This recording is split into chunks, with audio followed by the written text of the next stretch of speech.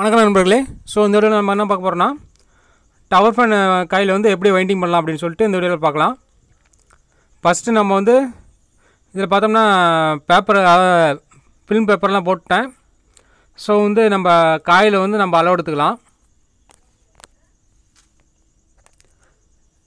இது பார்த்தோம்னா காயில் வந்து எப்படி அளவு எடுக்கலாம் பார்த்தோம்னா ஈஸியான வழிமுறை இது வந்து காயில் அளவு எடுக்கிறதுல வந்து.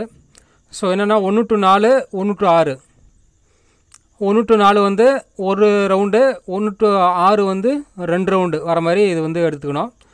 ஃபஸ்ட்டு இதை வந்து காயில் நம்ம நார்மலாக எடுப்போம்ல காயில் அளவு. அந்த மாதிரி என்ன அந்த மாதிரி என்ன பண்ணுறோம் அப்படின்னா ஒன்று டு நாலு வந்து ஒரு ரவுண்டு போட்டுட்டு ஒன்று டு ஆறு அப்படியே ரன்னிங் ஒன்று டு நாலு முடிஞ்சதும் அப்படியே அடுத்தது ஒன்று டு ஆறு வந்து ரெண்டு சுற்று ரெண்டு சுற்று போட்டுக்கணும். நான் போட்டு நான் காமிக்கிறேன் பாருங்கள் ஸோ அந்த மாதிரி போட்டு நம்ம வந்து எடுத்துக்கிட்டோம்னா இது வந்து ஈஸியாக நம்ம வந்து லென்த்தாக சுற்றி நம்ம அப்படியே மடித்து நம்ம உள்ளே வச்சுக்கலாம். ரெண்டாவது வந்து நார்மலாக எடுக்கிற மாதிரி போட்டோம் அப்படின்னு பார்த்தோம்னா காயில் வந்து சின்ன காயில் பெரிய காயில் ரெண்டு காயில் சுற்றணும் அது வந்து உங்களுக்கு வந்து சிரமமாக இருக்கும். ஸோ அதனால் இது வந்து ஈஸியான வழிமுறை வந்து எப்படி பண்ணலாம் அப்படின்ட்டு இதில் பார்த்துடலாம் அதாவது ஒன்று டு நாலு வந்து ஒரு ரவுண்டு ஒன்று டு ஆறு வந்து ரெண்டு ரவுண்டு வர மாதிரி நீங்கள் அப்படியே வந்து சுற்றி காயில் வெளியே வந்து கோரில் வந்து முட்டாமல் வெளியே அளவு வச்சிட்டிங்கன்னா கரெக்டாக இருக்கும். நான் வந்து போட்டு நான் உங்களுக்கு வந்து டிஸ்பிளே காமிக்கிறேன்.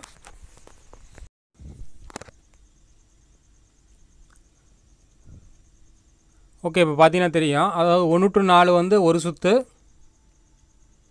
ஒன்று டு ஆறு வந்து ரெண்டு சுற்று வர மாதிரி போட்டு நீங்கள் அளவு எடுத்து வெளியே எடுத்துக்கிட்டீங்க அப்படின்னா ஸ்கேலில் அளந்து நம்ம அதே லென்த்து வந்து லென்த்தாக சுற்றிக்கலாம்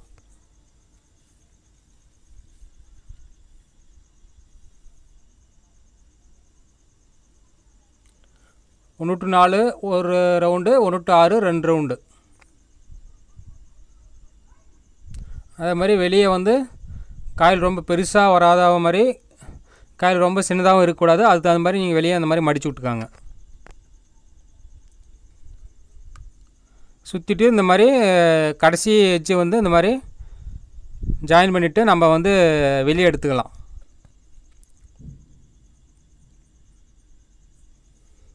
ஓகே நம்ம வெளியே எடுத்து நம்ம வந்து ஸ்கேலில் வந்து அளவு போட்டுக்கலாம்.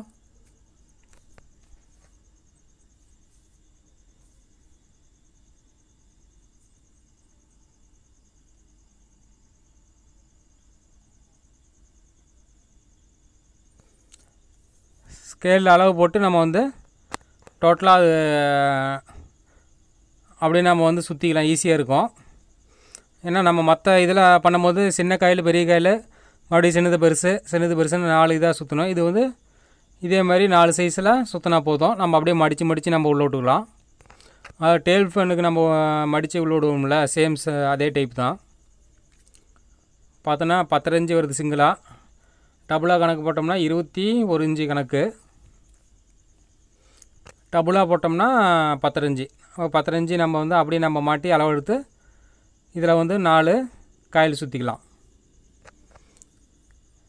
சைஸு பார்த்தோம்னா முப்பது சைஸு.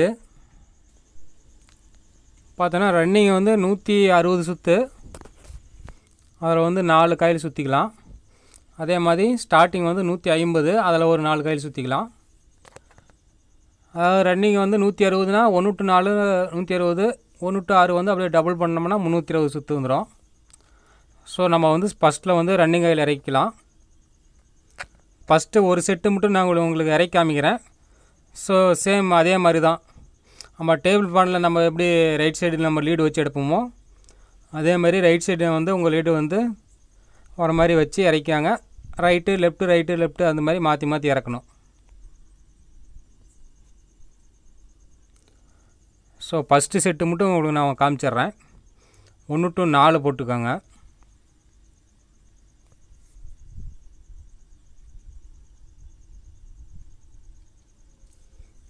நூற்று நாலு வச்சு இந்த மாதிரி உள்ளே வச்சு சைடில் வந்து ரெண்டு பக்கமும் ஸ்லீவ் பேப்பர் போட்டிங்க. அதாவது பேஸ் பேப்பர் போட்டிங்க அப்படின்னா உங்களுக்கு வந்து பேப்பரை வச்சுக்கிட்டிங்க அப்படின்னா உங்களுக்கு ஈஸியாக இருக்கும். ஏன்னா பேப்பர் வைக்கல அப்படின்னா உங்களுக்கு வந்து மறுபடியும் இழுக்கும் போது வந்து பிசிறு வந்து ஒவ்வொன்றா வெளியே வர ஆரம்பிக்கும் கம்பி. ஸோ அதை வந்து கன்ஃபியூஸ் ஆகும். ஸோ அதனால் பேப்பர் வச்சுக்கிட்டு உள்ளே இழுத்துக்கிட்டு அதுக்கப்புறம் ஒன்று டு ஆறு வந்து அப்படியே வளைச்சி போட்டுக்க வேண்டியது வளைச்சி போட்டு மறுபடியும் ஒன்று டு ஆறு இன்னொரு ரவுண்டு அப்படியே வளைச்சி சுற்றிக்க வேண்டியதான் இந்த மாதிரி வந்து பேப்பரை வந்து கட் பண்ணி வச்சுக்கோங்க. உங்களுக்கு வந்து ஈஸியாக இருக்கும்.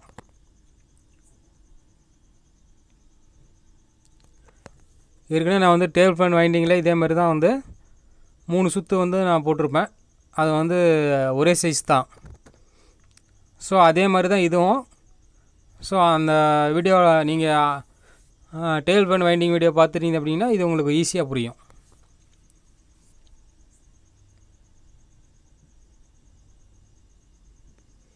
இந்த மாதிரி ஃபுல்லாக இழுத்துக்காங்க. ஃபுல்லாக இழுத்துட்டிங்கன்னா உங்களுக்கு மடித்து டர்ன் பண்ணி போடுறது வந்து ஈஸியாக இருக்கும்.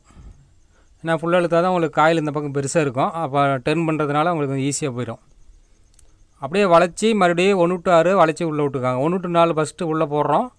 மறுபடியும் அப்படியே வளைச்சி ஒன்று டு ஆறு வந்து டர்ன் பண்ணி ஒன்று டு ஆறு போட்டுக்கிறோம். மறுபடியும் வந்து மீதி இருக்கிறத இன்னொரு ரவுண்டு போடணுமில்ல ஒன்று டு ஆறு. மறுபடியும் அது மீதி இருக்கிறத இழுத்து ஃபுல் டைட் வச்சு மறுபடியும் ஒன்று திரும்ப இறக்கிட்டீங்க அப்படின்னா ஒரு செட்டு ஓகே.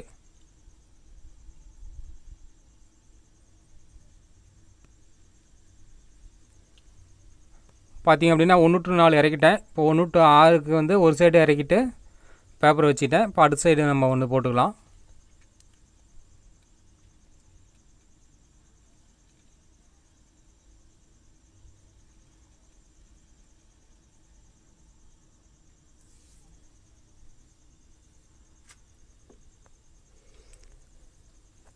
இப்போ உள்ளே இறக்கும்போது உங்களுக்கு வந்து சைடில் வந்து பிசுறு வந்து கம்பி வந்து சைடில் படுது அப்படின்னு பா அப்படிங்கிற மாதிரி தோணுச்சு அப்படின்னா வந்து ஒரு பேப்பரை வச்சு பேப்பருக்குள்ளே இறக்குனீங்க அப்படின்னா ஈஸியாக இருக்கும்.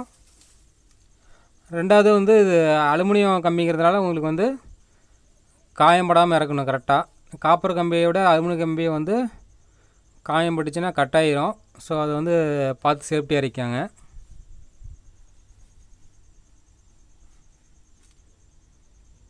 இப்போ பார்த்தீங்கன்னா ஒன்று டு நாலு வந்து ஒரு ரவுண்டு போட்டாச்சு. ஒன்று டு ஆறும் ஒரு ரவுண்டு போட்டிருக்கிறேன். அப்படியே ஒன்று டு ஆறு இன்னொரு ரவுண்டு போடணும். மீதி இருக்கிறது அப்படியே மறுபடியும் டர்ன் பண்ணி அப்படியே வளைச்சி ரெண்டு பக்கம் உள்ள விட்டு பேப்பரை வந்து பேஸ்ட் பேப்பரை வச்சு விட்ற வேண்டிதான் ஏற்கனவே வச்ச பேப்பரை வந்து எடுத்துட்டு மறுபடியும் அதுக்குள்ளேயே ரைட்டு நம்ம பேப்பரை வச்சிட்டோம்னா ஒரு செட்டு ஓகே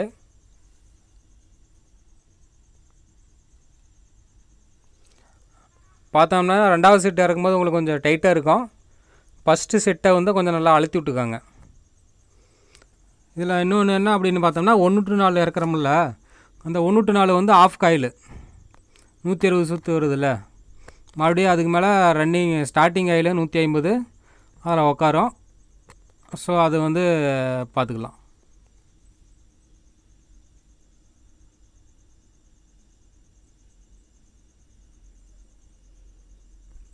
ஸோ ரெண்டாவது செட்டு கையில் இறக்கும்போது நல்லா பேப்பர் நல்லா டைட்டாக வச்சுக்கோங்க. ஏன்னா அதுதான் ஃபைனலு மறுபடியும் நம்ம அதில் இறக்க போகிறதில்ல ஸோ ஆப் காயில் இறக்கணும்ல ஒன்று டு நாலு. அதெல்லாம் வந்து அதுலேயும் வந்து உள்ளே வந்து போகிற மாதிரி பேப்பர் வச்சுக்கோங்க. ஏன்னா அடுத்தது வந்து ஸ்டார்டிங் கையில் அதில் உட்காரும் அதே காயில். அதனால் கொஞ்சம் பேஸ்ட் பேப்பர் நல்லா ஸ்ட்ராங்காக வச்சுக்கோங்க. பேஸ்ட் பேப்பர் வைக்கல அப்படின்னா உங்களுக்கு வந்து சீக்கிரம் வந்து காயில் வந்து போகிறதுக்கு வந்து சான்ஸ் இருக்குது அதனால் ஸ்டார்டிங் ஆயில் ரன்னிங் ஆயில் அதாவது ஆஃப் காயில் உட்காரதுல வந்து பேஸ் பேப்பர் நல்லா நீட்டாக வச்சுக்கோங்க.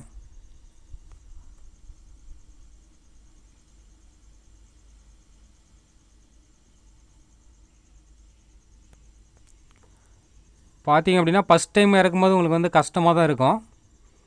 ஏன்னா அது வந்து அழுத்தி உட்கார வைக்கணும். ஒரு செட்டு இறக்கிட்டீங்க அப்படின்னா ஈஸியாக போயிடும் சேம் அதே மாதிரி தான் நல்லா வருது அப்படின்னு சொல்லிட்டு ஈஸியாக போயிடும் ஃபஸ்ட்டு ஃபஸ்ட்டு நீங்கள் இறக்குறீங்க அப்படின்னா கொஞ்சம் வந்து கஷ்டமாக இருக்கும். போக போக அது வந்து உங்களுக்கு பழகிடும் ஓகே பார்த்தோம்னா ஒரு செட்டு காயில் நான் இறக்கிட்டேன். உங்களுக்கு காமிக்கிறேன் பாருங்கள் மீதி செட்டு காயில் வந்து சேம் இதே மாதிரி தான் இது நான் இப்போ லெஃப்ட் சைடு இறக்கியிருந்தேன் அப்படின்னா அடுத்தது ரைட் சைடு டேபிள் ஃபேன் எப்படி இறக்குறமோ சேம் அதே மாதிரி தான் லெஃப்ட் இறக்குனா ரைட்டு ரைட் இறக்கியிருந்தீங்கன்னா லெஃப்ட் அப்படியே மாற்றி மாற்றி இறக்கிக்க வேண்டிதான் நாலு செட்டும். ஸோ இறக்கி விட்டு காயில் இந்த மாதிரி மடிச்சு விட்டுக்காங்க சைடில்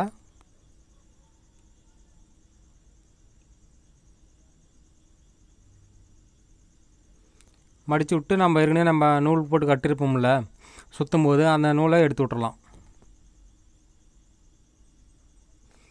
அது எதுக்குன்னா நம்ம இறக்கும் போது நம்மளுக்கு வந்து பிசிறு வந்து மாறி வராமல் இருக்கிறதுக்காக நம்ம அந்த மாதிரி சேஃப்டிக்காக கட்டிக்கிறோம். நல்லா அந்த மாதிரி ஃபஸ்ட்லேயே அழுத்தி விட்ருங்க அழுத்தி விட்டு இதே மாதிரி இன்னும் மூணு செட்டு காயில் நம்ம இறக்கலாம்.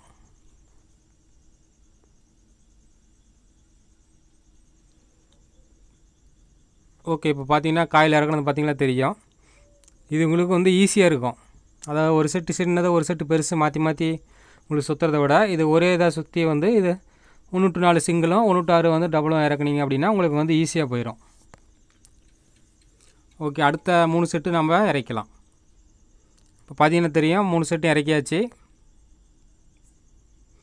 So left right left right அப்படின்னு மாற்றி இறக்கியாச்சு. ஸோ பார்த்தோன்னா இதே மாதிரி தான் வந்து ஸ்டார்டிங்கில் இருக்கணும். ஒன்று டு நாலு ஒன்று டு ஆறு.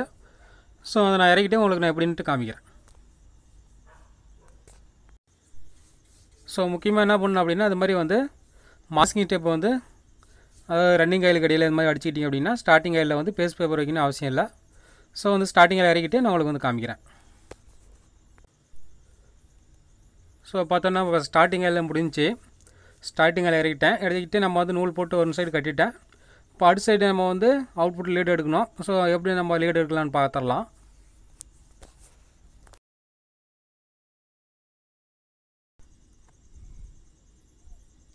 ஸோ கனெக்ஷன் பார்த்தோம்னா அதாவது starting oil end start running oil end start வரும். அது வந்து நீங்கள் நாலு ஒயர் போட்டு எடுத்துக்காங்க. மீதி நம்ம வந்து ர ஸ்டார்டிங் ஆயில் வந்து இடையில ரெண்டு லீடு எடுத்துருப்போம். அது வந்து ஸ்பீடுக்கு நம்ம வந்து டேபிள் ஃபேனுக்கு உங்களுக்கு வந்து காமிச்சிருப்பேன். சேம் அதே டைப் தான். ஸ்பீடுக்கு எடுக்கிறது ஸ்டார்டிங் ஆயிலில் ஸோ ரன்னிங் ஆயில் ரெண்டு லீடு கருப்பயிர் போட்டு ஸ்டார்டிங் ஆயில் ரெண்டு லீடு செவப்பயிர் போட்டு நம்ம வெளியே எடுத்துக்கலாம். வெளியே வந்து நம்ம வந்து காமனை வந்து வெளியே பிடிச்சிக்கலாம். ஏன்னா நம்ம வந்து இங்கேயே போட்டு எடுத்தோம்னா மாறிடுச்சா மறுபடியும் காயில் பிரிச்சு வேண்டிய அவசியம் இல்லை. நம்ம வெளியே இது மாதிரி போட்டு எடுத்துக்கலாம். நம்ம அதுக்கப்புறம் செக் பண்ணி கொடுத்துக்கலாம். ஸோ ஓகே அவ்வளோதான் முடிஞ்சு. ஸோ இந்த வீடியோ பிடிச்சிருக்குன்னு நான் நினைக்கிறேன். ஸோ இந்த வீடியோ பிடிச்சிருந்தா லைக் பண்ணுங்கள் ஷேர் பண்ணுங்கள் கமெண்ட் பண்ணுங்கள் மற்றும் மறக்காமல் நம்ம ஆல்டெக் தமிழ் சேனல்லாம் சப்ஸ்கிரைப் பண்ணலாம் மறக்காமல் சப்ஸ்கிரைப் பண்ணி வச்சுக்கோங்க. நெக்ஸ்ட் இதே மாதிரி இன்னொரு வீடியோவில் சந்திக்கிறேன். நன்றி. பாய்